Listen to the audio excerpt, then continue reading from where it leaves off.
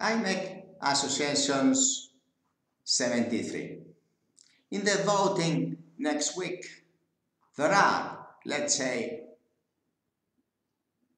400 members. Just a figure.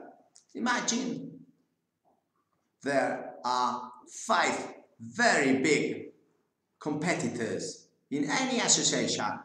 But did someone get the calculator and think, well, 400 minus 5, 395.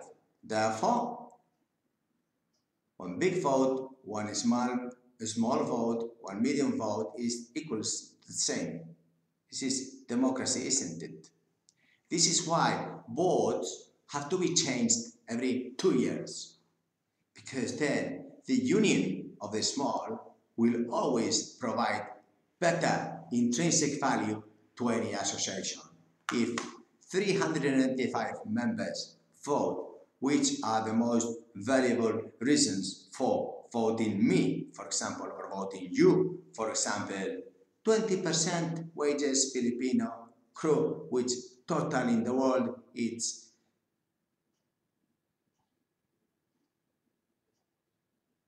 three hundred thousand. Average three hundred dollars. Then you can calculate, please. You should calculate the, the intrinsic value of 400 years I am proposing. Now, next idea, the welfare of seafarers. Then next idea, if there are 395 members and some have better ideas, more accountable, that can be measured and communicated in a video like this, very nice. We don't need so much makeup or what we need is accountability, ITF fees reduced 200,000 seafarers from 330 to 33. How many millions is that? P&I cover improving so that seafarers think twice before leaving our maritime industry. What other improvements? Fast lane in the airports, in the medicals, in the hospitals, everywhere. What others? Civil responsibility for all the members. What others? The question is that if we are democratic in any association, the first thing we have to do is reduce the articles. So every two years there is renewal of the board and only those in the board are the ones that provide more intrinsic value to the association. By doing that, it's very, very important that you vote next Thursday, 19th May for me because even if I am not elected, I am posting, communicating the accountability of the targets. And if I've forgotten some, because I try to do the best of informing which are the most accountable, most important for the reputation, the goodwill of the maritime industry, perhaps probably there are more that I did not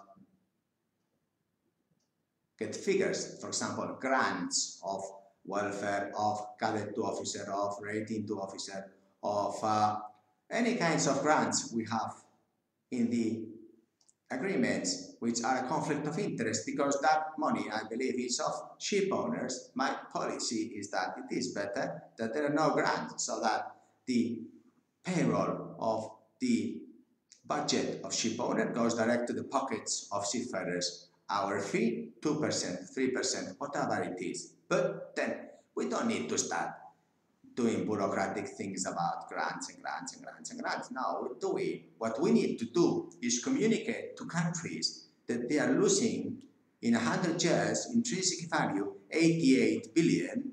That means 22 million per seafarer. That's 4 million seafarers. 22 times 4, 88 billion. What country would like to get this income in 100 years? Is that one? Is that two? Is that three? That's what we need to communicate, which I believe we are not communicating properly. But it doesn't matter. The main thing is that the small votes are more important than the president's or the board's votes. Please vote. Medium votes, same thing, is for the industry, reputation, goodwill, what we are here voting for. Thank you very much indeed. Like, subscribe. Bye.